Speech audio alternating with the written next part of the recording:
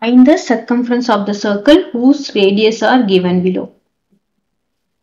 Okay. So, நமக்கு என்ன கொடுத்திருக்காங்க radius first one radius is equal to 49 centimeter then diam that is 2 pi r circumference 2 pi r is equal to 2 into 22 by 7 into 49 இப்போ நமக்கு என்ன பாருங்க 1 7 is 7 7 7 is 49 centimeter that is equal to 22 into 22 is 44 44 multiplied by 7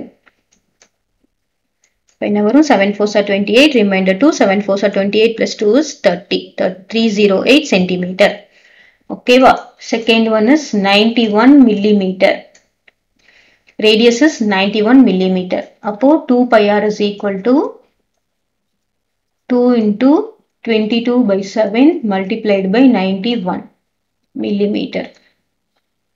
இப்போ cancel பண்ணலாம் 1 7 is 7, 2 7, 1 7 is 7, remainder 2. Remainder 2 வரும், அப்புறம் 3 7s are 21. So this is equal to 2 into 22 is 44, 44 multiplied by 13.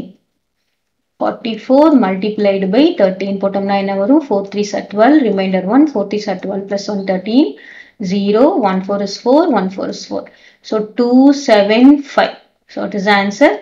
572 millimeter